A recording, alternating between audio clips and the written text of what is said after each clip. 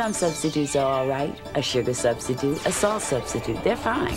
But when it comes to the kind of personal guidance that could actually change your life, you want the real deal. And that's especially true when it comes to psychic guidance. When someone told me to call one of those imitation psychic clubs, I said, What are you talking about? There's only one true psychic service the Psychic Friends Network. Recently, a lot of these so called psychic clubs and services have sprung up all over the television screen, and they all do their very best to look just like the Psychic Friends Network. But believe me, there are some very serious differences.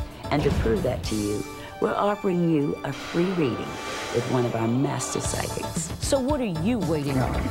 Pick up the phone and give it a try. Substitutes are all right for your coffee or tea, but when it comes to psychic guidance, call the number at the bottom of your screen now. All it takes is a telephone and an open mind.